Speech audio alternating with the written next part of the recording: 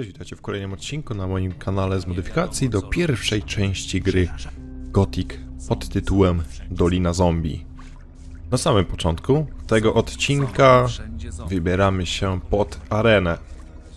Dostałem pewną taką delikatną poradę, jeżeli chodzi o zagubiony miecz Skatiego. Byliśmy ogólnie na arenie. Sketty nam mówił, że zgubił gdzieś tam swój miecz. No byliśmy na arenie, no i ten miecz udało nam się w sumie wziąć, ale po podniesieniu tego miecza respi się tam zombiak Karim. Pamiętacie oczywiście z Gotika jedyneczki.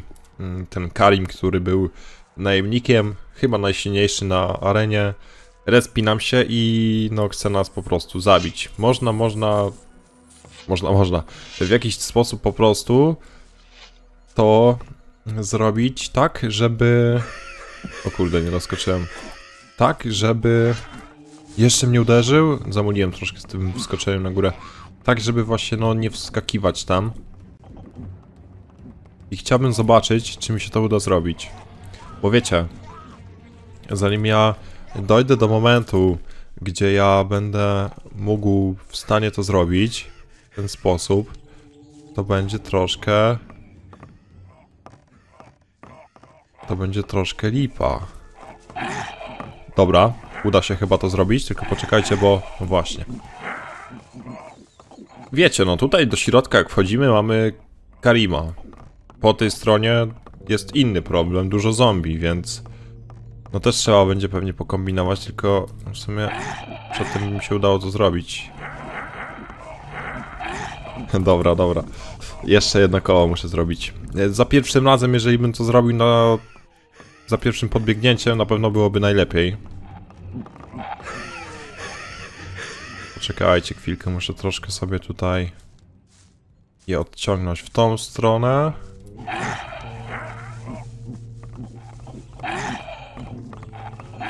Zablokowałem się.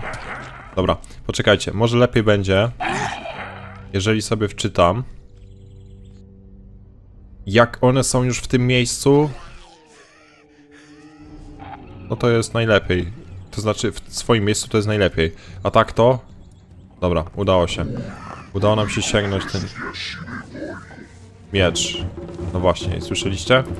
Ból to tylko kwestia siły woli. No i nam się respi Karim. Ten... Y... Były najemnik, no można powiedzieć w sumie. Także musimy stąd uciec. Wiem, że jest, może być głośno, głośno to znaczy, bo ta muzyka się odpaliła z areny. Chciałbym jej w sumie... Czekajcie, żeby ona mi się wyłączyła. Nie, zapiszmy. Czytajmy może. Dobra, uspokoiło się. No wiecie, tam oczywiście no zrobię to, wskoczę tam, zabiję go, tylko po prostu za jakiś czas. Także no mam nadzieję, że się nie obrazicie, że w taki sposób, znaczy no to nie jest jakiś tam chyba, nie wiem czy to można nazwać błędem czy nie, ale po prostu można po nazwać to tak, że nasza postać udało naszej postaci się po prostu sięgnąć to, co było na dole i tyle. No nie wiem, no jest trudno, więc będę po prostu musiał korzystać z czegokolwiek. Szkoda, że jest muzyka bitewna. I jak jeszcze tu jesteśmy, w poprzednim odcinku nie udało mi się tego zrobić, to znaczy ostatniej potrawki chrząszcza nie udało mi się odnaleźć. Bo ona jest nam potrzebna do questa. Kurde, ta muzyka to się uspokoi, czy nie? Ona jest nam potrzebna do questa, między innymi, co nie? Ta potrawka z chrząszcza. Ale no teraz to nam chyba tylko zostało przeszukiwanie skrzyń. Chociaż niby niekoniecznie. Bo tak nie do końca... Nie do końca sprawdzałem te wszystkie domki. Szczerze mówiąc.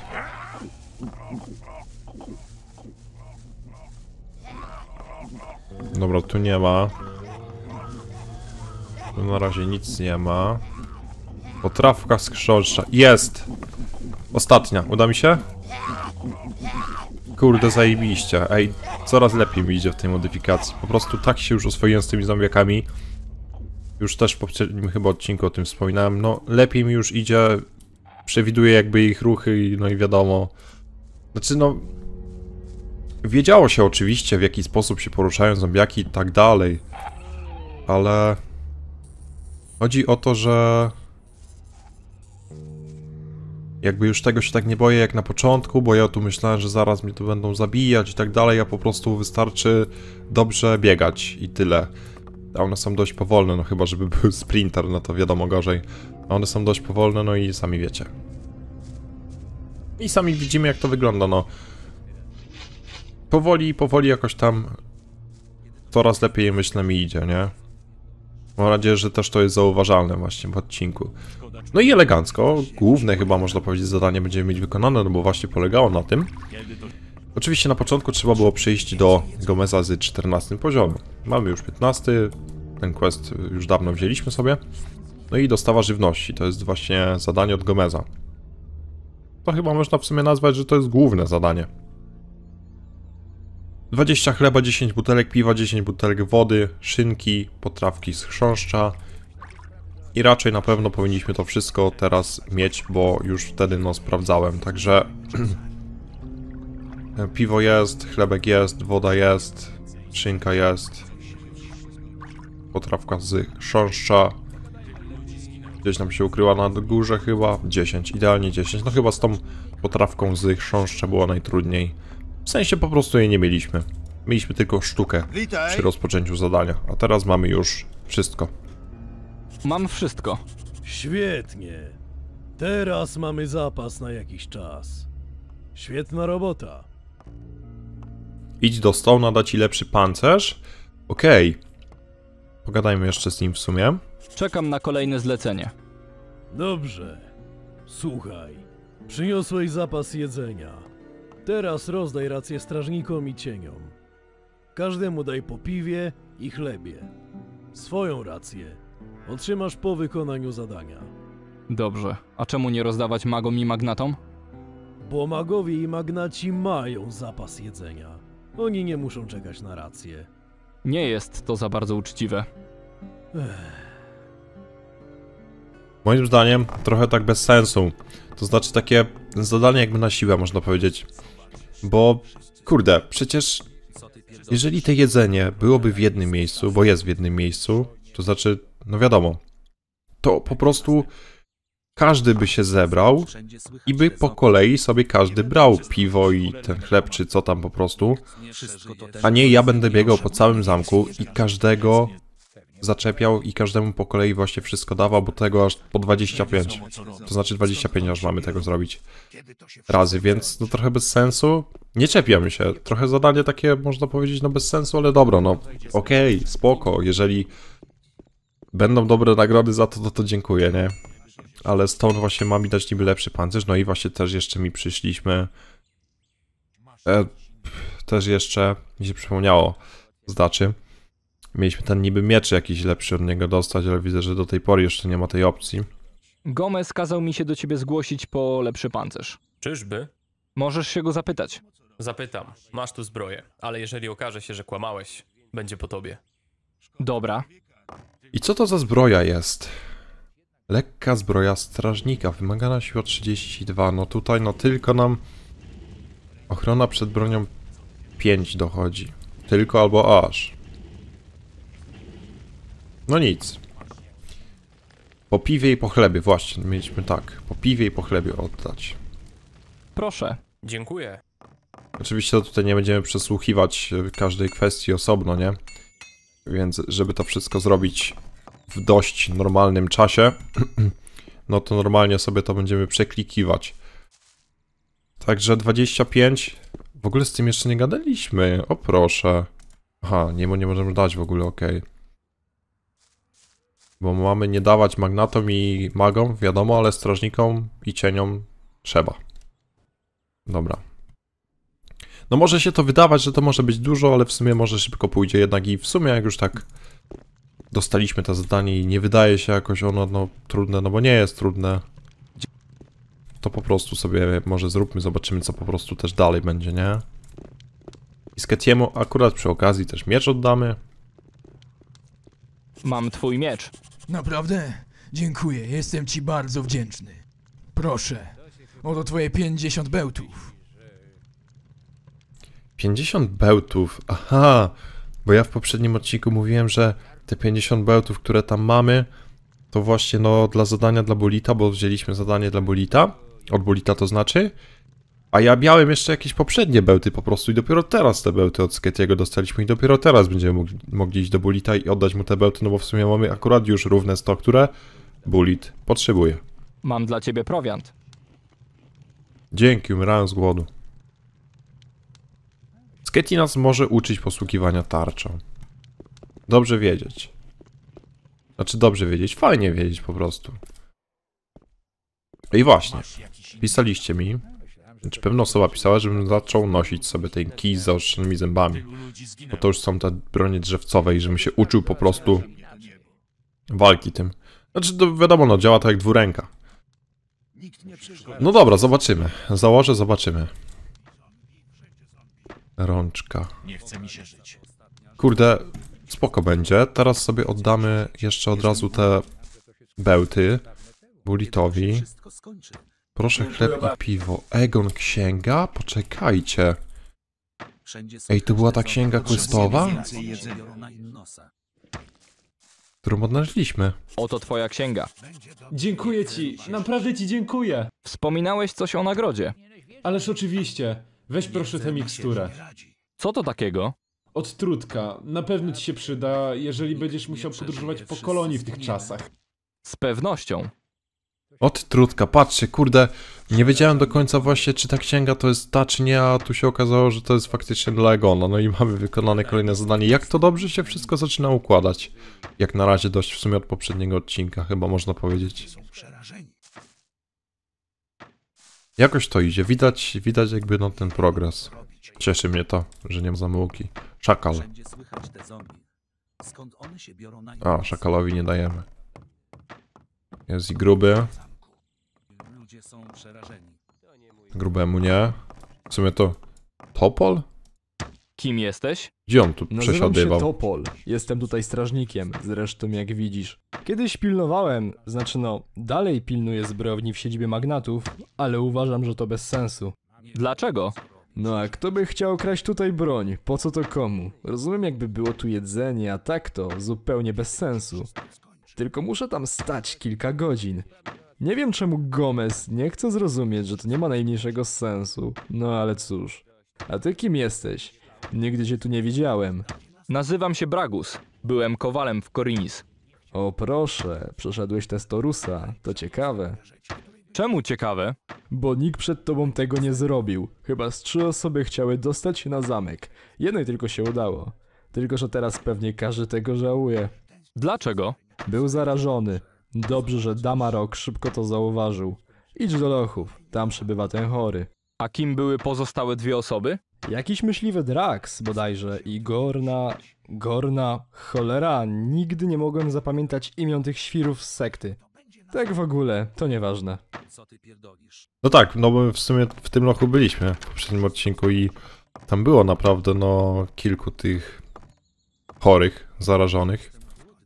Mam bełty. Także mamy bełty. Świetnie, oto zwój. I tak nie potrafię tego używać. Zwój ciekawy właśnie jaki, bo chyba nie było napisane, ale raczej yy, chyba deszcz ognia. Też mi ostatnio nawet pewna osoba pisała, żebym właśnie zgarnął jak najwięcej zombiaków i użył deszczu ognia. No kompa mi raczej nie powinno wywalić. Kosmos, ale kurde. Ciekawe czy taki deszcz zdoła na przykład jednorazowy deszcz właśnie użyć, to znaczy używając jednego, jednorazowego deszczu zabije Potrzebujemy więcej jedzenia. zombiaki. To by było za łatwe. Patrząc tak, kurde, w sumie nie. Może na przykład te kopacze zwykłe to może jeszcze jesz, ale strażników, cieni na przykład, to może taki silniejszy, może nie, ale kurde by trzeba było spróbować, bo no wiecie też, jest tak, że jeden zombiak jest bardziej odporny na to, drugi na to, trzeci na tamto. Także, no. Ale oko. kiedy to się wszystko Gomez sobie nie radzi. Czy ja mam też do lochów iść? Kurde, szkoda, że nie ma takiego licznika. Bo nie zerkałem w sumie za bardzo na ekwipunek. Jeżeli chodzi o te piwo i chlebek. No zobaczmy. Nie, tutaj nie. tu jest chory. No myślę, że nie żyje przez chwilę. A temu mamy dać, czy nie? Nie. No nie no, wiadomo, cieniom i strażnikom. Ale tak dla pewności chciałem sobie tutaj przyjść. Czyli nie, czyli nie, okej. Nie wiem jeszcze, gdzie będziemy mogli się nauczyć lepszego otwierania zamków, bo no w sumie to rączka, który powinien tego uczyć, no nie uczy nas. A pewne skrzynie, pewne drzwi, no są. No lepiej zamknięte, lepiej zabezpieczone i. Apokalipsa to ostatnia rzecz, której bym się spodziewał. No i właśnie nie można ich tak to otworzyć, nie? Także no. Myślałem, że Miejmy nadzieję, że nie są ci strażnicy też jakoś bardziej tak poukrywali, że by się nie okazało, że nagle, to że nagle jakiś tam jeden czy dwóch mi gdzieś się ukryło i nie będę mógł ich znaleźć. Potrzebujemy była lipa trochę. Dobra, nie wiem ile mi naprawdę już tego... Witaj. Koniec, koniec, dwa końce są. To. Nie wiem ile mi naprawdę tego już zeszło, ale no robimy na razie. O kurde, coś mówił o winie jakimś, ale możemy mu dać, bo mieliśmy dużo. Weź wino. Lepszy ryc niż nic. A, pewnie prosił o jakieś piwo czy coś może jeszcze, nie? A to Rusawi mogę? Proszę. Dzięki. W końcu coś zjem? Ludzi No i dobra, teraz tak. Tym jeszcze może, nie wiem czy im dawałem czy nie. Tu w środku mam jeszcze. Co ty pierdolisz? I tak to- nie wiem czy jeszcze jacyś będą. Tu możemy zerknąć. Tutaj byli to już raczej magnaci. No i na górze tych dwóch mi zostało. I czy to będzie już to wszystko? Czy nie? Tą siedzibę magnatów też będzie trzeba przeszukać kiedyś sobie. Będzie dobrze, zobaczysz. Trzymaj. No i trzymaj. No i teraz kurde nie wiem.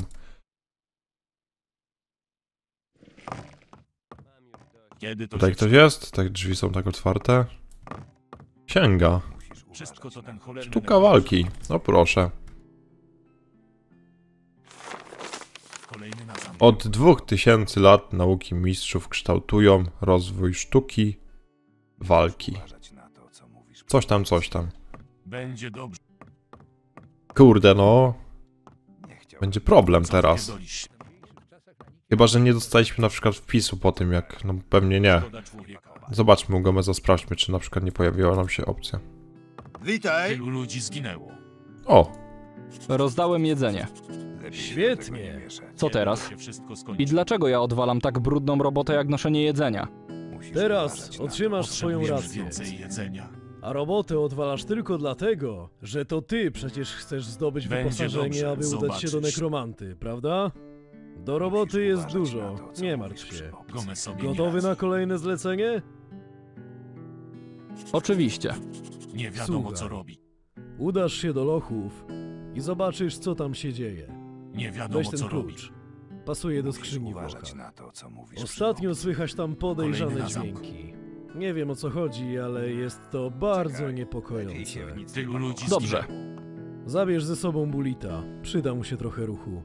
Gdyby się sprzeciwał, Wyraża powiedz, mnie to niebo. że wypruje mu flaki. Dobrze, ruszam. Trochę w sumie śmieszna sytuacja wyszła, bo w poprzednim odcinku byliśmy w Lochach no i tam były takie kraty, przez które no nie mogliśmy jak na razie przejść, no bo tam była dźwignia, której nie mogliśmy użyć. No i pewnie mówiłem właśnie, to znaczy mówiłem, że pewnie tam fabularnie będzie można, no i się okazuje, że pewnie będzie można, bo akurat chyba o te miejsce raczej chodzi, bo tam jedynie tej skrzyni nie sprawdzałem, także no weźmy ze sobą bulita, no i zobaczymy. Siadać to nie chcę. Potrzebuję pomocy.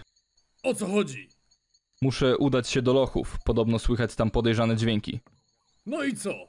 Masz iść ze mną. Chyba jesteś niepoważny. Gomez wypruje ci flaki, jeżeli mi nie pomożesz. Są to jego słowa. Cholera. No dobra, nie mam wyboru. Ruszajmy. No idziemy, wstawaj bulit. Wstaniesz, czy co? Dobra, idzie. Już myślałem, że będzie jakiś problem z nim. Zapiszmy sobie.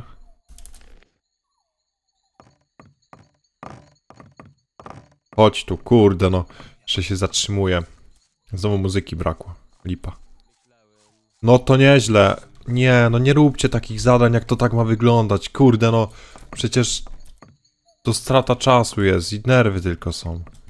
Po cholerę robić takie zadania, jak to widać, jak to działa. No i wsiąknął gdzieś buli całkowicie, no i nie ma go w ogóle. Po prostu nie mam słów czasami, naprawdę po prostu nie mam słów.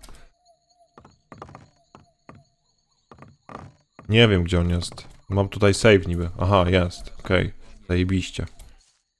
Idziesz teraz, czy znowu? No nie no, czasami no po prostu mam... Po prostu no brak słów no sami widzieliście jak to się... Jak to tutaj się działo. No i co, i tak jak mówiłem, będzie można tutaj to otworzyć? Te kraty? Tak. Co ty pierdolisz? Śmieszna akcja, że akurat tutaj wtedy... No chyba... No chyba nie. Zombie strażnika y, nie zadaje w ogóle żadnych obrażeń, także mam nadzieję, że... Kurde. Ej, ale tu mamy jeszcze przecież pomoc magów. Mądra decyzja czego? Mądra decyzja? Tak, no pomoc magów mam jeszcze. Ej, dobra, bo oni się bardzo za, za bardzo na mnie skupili. Ja muszę się uleczyć, bo zginę na hita chyba. Kurde, szkoda, że akurat strażnik. Da się to zrobić. Będzie rzeź. Będzie rzeź.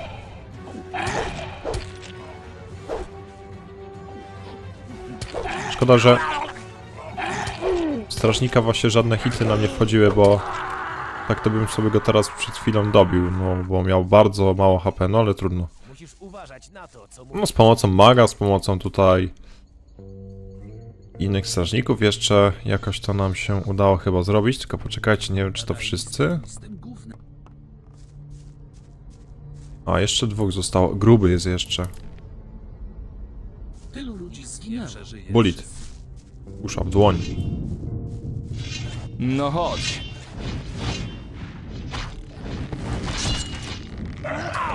Nie, to nie ma sensu.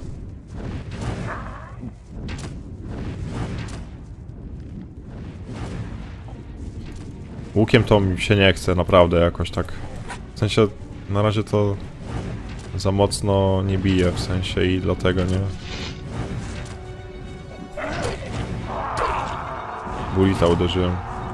Ciekawe, czy będzie mnie chciał bić. Mam nadzieję, że nie. Cholera! Ile tu tego było? I w ogóle skąd one się tu wzięły? Spadam stąd. No i tak już jest po wszystkim. No i dobra. To był jakiś test, coś mi się wydaje. Wyciąg ducha. Mana, Ludzie są przerażeni. CR, bełty, strzały, okej, ale... Eliksir siły, jeden tylko, szkoda. Życia 10 na stałe.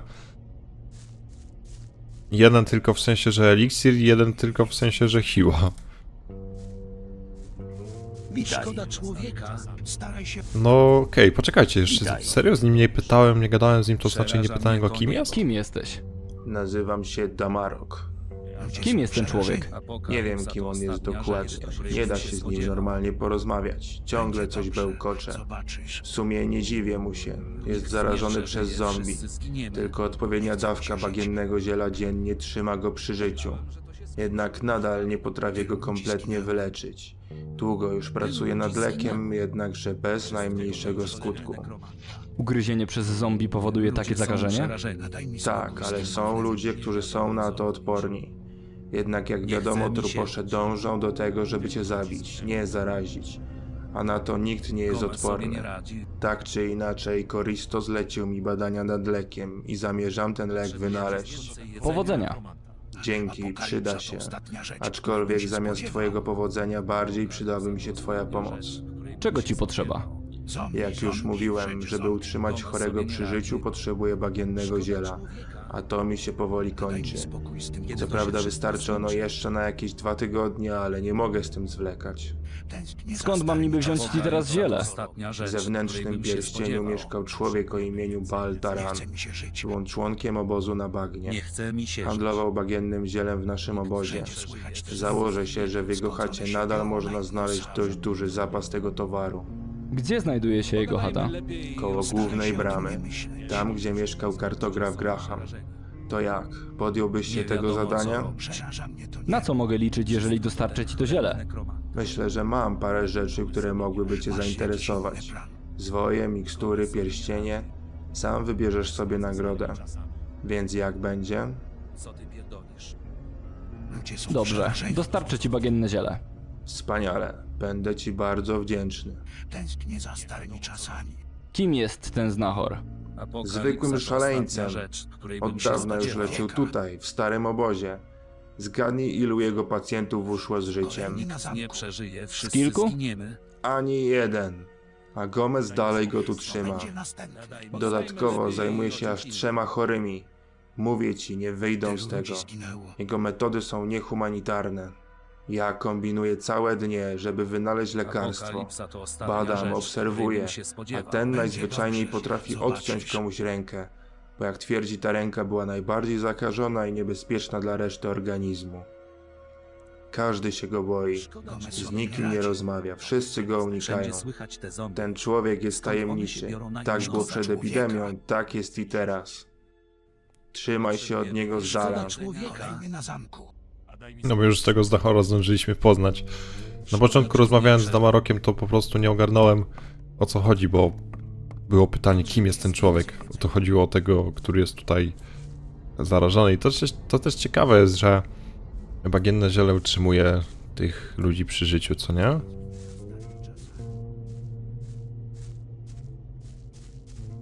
Kolejne zadanie. Typu idź przynieś mi coś tam. No niestety, nadal, nadal te zadania takie dostajemy i duża większość chyba się okazuje, że tych zadań wygląda w ten sposób.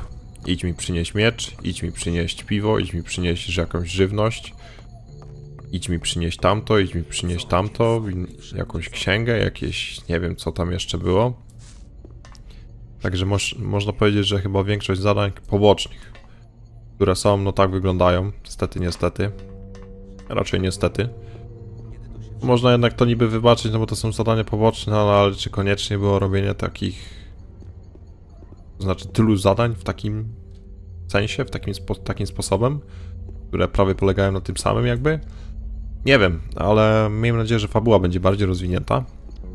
A to, że było mówione, że to jest jeden z najlepszych modów, czy tam dla niektórych najlepszy mod, no kurde, no fajnie, no klimat jest. Klimat jest, fajny zombiaki i tak dalej. A, ta modyfikacja braki. Nie wiem, czy bym nazwał to najlepszym modem. To trzeba by było jeszcze ograć jakieś inne mody do jedynki, bo może po prostu ten mod jest nazywany przez niektórych najlepszym, bo może jest po prostu mało tych modyfikacji w sumie do jedynki, bo więcej jest do dwójki. Chociaż są jeszcze też jakieś większe takie do jedynki, coś mi się wydaje. Ja też tak za bardzo się do końca nie, nie wypowiem, bo szczególnie do dwójki go grywaliśmy mody. Także Musiałbym jeszcze sobie inne do jedynki ograć, ale czy to zasługuje na miano najlepszego moda dla niektórych? Wiadomo, każdy ma swoje zdanie, ale mniejsza oczywiście. Też są pewne, pewne rzeczy, które, no mówię, podobają mi się w tej modyfikacji, nie? Też jest ten fajny klimat i tak dalej. Naprawdę w całkiem inny sposób jest to zrobione, no i nawet dość przemyślane. Także dobra, bagienne ziele, co się dzieje w lochach i do Gomeza wróćmy. Powiedzmy mu, no to wyglądało naprawdę jak test po prostu. Ale no, Witaj! Załatwione. Z trudem, ale załatwione. Naprawdę? Co tam było? Stado zombie, z trudem uszliśmy z życiem. Musimy bardziej uważać. Skoro truposze były w lochach, gdzie mogą być jutro? I w ogóle jakim cudem one się tam dostały? Zamek był sprawdzany nieraz. Dziwne. Muszę pomyśleć. A, proszę. Weź te mikstury. Niech ci służą. Dobra, dostaliśmy... Nie wiem do końca jeszcze jakie te mikstury. No Ale no jakieś dostaliśmy, także fajnie, fajnie. Witaj! Jest jeszcze coś do zrobienia? Owszem, muszę wysłać cię w teren. Konkretnie do obozu zwiadowczego. Tuż przed epidemią rozkazałem stworzyć taki obóz, żeby moi ludzie mogli obserwować poczynania nowego obozu. Teraz służy nam jako dostarczyciel jedzenia, drewna i innych zapasów. Potrzebuję się dowiedzieć, jak wygląda u nich sytuacja. Po prostu odbierz raport od Fabiana, przywódcy tego obozu. Gdzie on się znajduje? Hmm, słowami trudno będzie mi to tobie opisać. Dobra, weź tę mapę. Zaznaczyłem na niej położenie obozu. Powodzenia. Dzięki. No wiecie, my to tam dotrzemy, bo byliśmy tam ostatnio, niedawno w sumie dość. Widocznie no trochę za, za wcześnie, no bo tutaj fabularnie nam teraz jakby gra pozwala tam iść po coś, tam będziemy coś mieli jednak do zrobienia, chociaż niby tam jakieś zadanie jedno poboczne można było odebrać, ale no i tak, spoko. Także no co, idzie to nam jakoś, jakoś to nam idzie, jakoś te zadania, no zakończone. Ta lista robi się coraz dłuższa. Także tak na szybko, co byśmy na przykład mogli sobie jeszcze zrobić? No to ten obóz zwiadowczy, no to wiadomo sobie później zrobimy. Bagienne ziele. To też by myślę można by było dość szybko zrobić, no bo sobie skoczymy tam obok chaty kartografa do tej chaty tego gościa Balatarana i te bagienne ziele powinniśmy tam znaleźć w skrzyni zapewne. Odnaleźć trzeba będzie jaskinię nieopodal obozu, w której no będzie można ten lek znaleźć. No i jakoś to, jakoś to naprawdę nam idzie, dobra. Jest progres, można powiedzieć. Na tym sobie zakończymy. Także trzymajcie się, do kolejnego, cześć.